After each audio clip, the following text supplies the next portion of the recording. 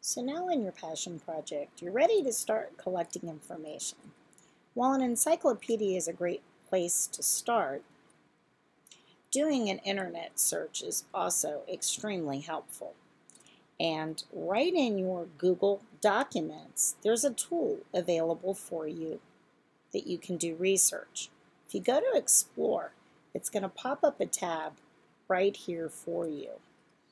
Let's say I'm interested in learning more about how to care for a horse. So we talk about that Googleable question. Look what starts to happen. I start to get pop-ups here, all kinds of information. That's quite a bit. I can also then, within this tab, I can click on a link and go right to it. It'll open a new tab.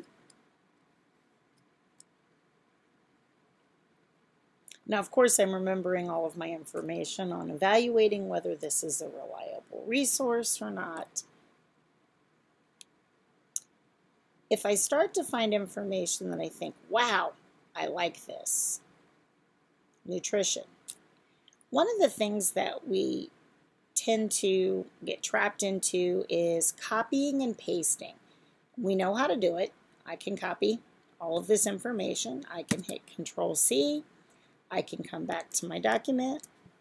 Oops, and I can hit Control V to paste it. That's super easy. Is this any of my original thinking? No, it's not. Not at all. So if I'm doing any kind of copying and pasting, I need to make sure that I am, of course, indicating that this is not my original information. So I might highlight it in some way. I might also then add where I got the information. Information found at, and then this is where I can go back and I can copy and paste my link and I can put it right on there. And it's always important to put the date that I retrieved the information.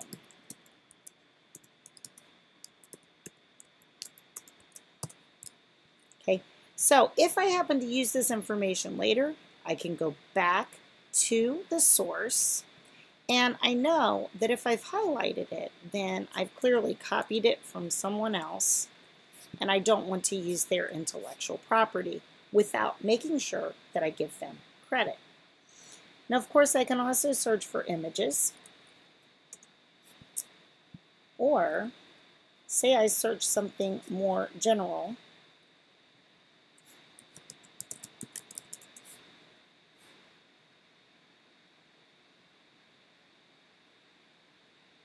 Got a lot I can search for. Wikipedia is something that comes up often. And there's a lot of debate about Wikipedia and the effectiveness of it as a research tool. I never mind looking towards Wikipedia to particularly help me get ideas. Um, keep in mind that often Wiki Wikipedia is not verified. So if I'm looking at Wikipedia, I never use it as a source of information but rather often, like I said, it'll take me to different types of keywords to give me ideas. And then it can help me with further searching. That's not to say that information on Wikipedia isn't valid and true, but again, if you go back to your rule of finding something on several other resources, that helps. And so this is how you can start collecting general information to help you